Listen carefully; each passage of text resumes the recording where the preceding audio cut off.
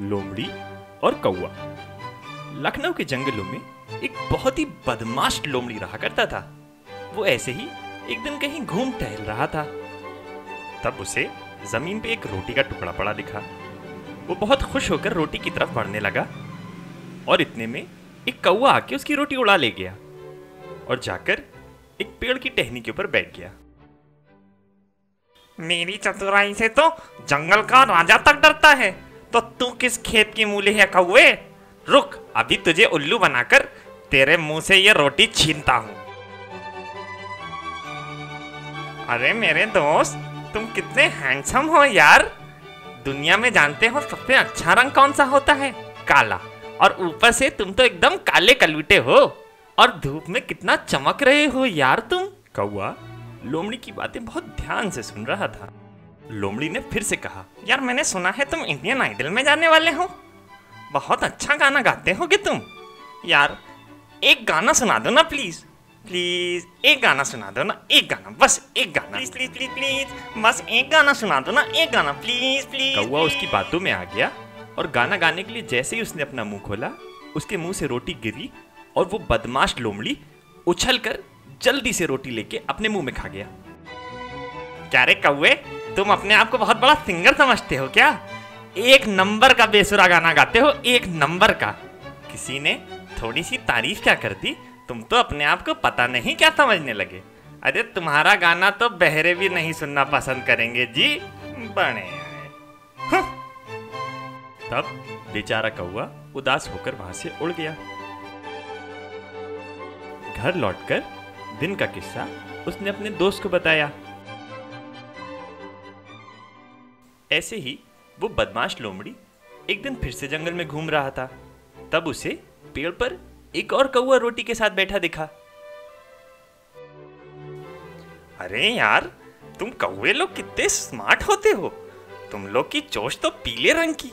मुझे तो लगता है तुम इस जंगल की सबसे अच्छी चिड़िया हो। और इस पीली चोच से तुम गाना तो बहुत अच्छा गाते होगे। एक गाना गा के सुनाओ ना यार प्लीज़ एक गाना सुना दो। तब उस कौवे ने उस रोटी के टुकड़े को अपने पैर के नीचे दबाया और गाना गाना शुरू कर दिया। कोई मुझे जंगली कहे, कहने को जी कहता रहे, हम तो गाना गाएँगे। का का का का। अरे दादा, बस बस करो, बस बस बहुत अच्छा गाना गाते हो तुम। अरे मेरे दोस्त, तुमने मुझे बीच में क्यों रोक दिया? अच्छा नहीं था क्या? अरे नहीं नहीं, ऐसी बात नहीं है। तुम इतना अच्छा गाना गाते हो कि मैं चार लाइन से ही समझ गया कि तुम सुपर सिंगर हो। मुझे ऐसा लगता है तुम गाने के साथ डांस भी बहुत अच्छा करते होगे। एक बार डांस करके दिखाओ ना प्लीज़ अरे, डांस? वो तो मैंने टाइगर श्रॉफ से ही सीखा है। इस रोटी के टुकड़े की वजह से मैं डांस नहीं कर पाऊँगा। रुको, मैं इसको खा लूँ, फिर तुम्हें डांस करके दिखाता हूँ। का का, कोई मुझे जंगली कहे, कहने को जी कहता रहे। हम तो जंगली हैं। का का का का का। क्यों रे लोमड़ तुम अपने आप को बहुत हीरो समझते हो क्या? अपनी होशियारी और दिमाग लोगों को पागल बनाने के लिए नहीं इस्तेमाल करना चाहिए, समझे? ऐसा कहके वो कौवा वहाँ से उड़ गया। और तब लोमड़ी को समझ आ गया कि लोगों को पागल बनाने से कुछ हासिल नहीं होता। कहानी दो बकरों की। लखनऊ के जंगलों में एक बकरा घास चर रहा था। अरे वाह!